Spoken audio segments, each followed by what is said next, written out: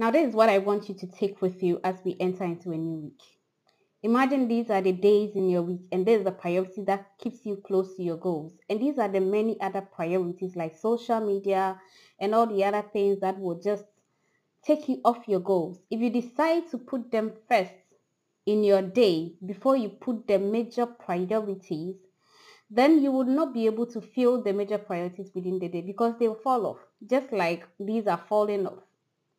But if you decide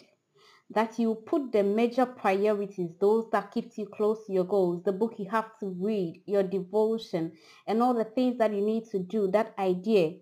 that you have to execute before you put the other things, the social media, the just the parties, and all of that, you realize that everything will be able to fit perfectly into your day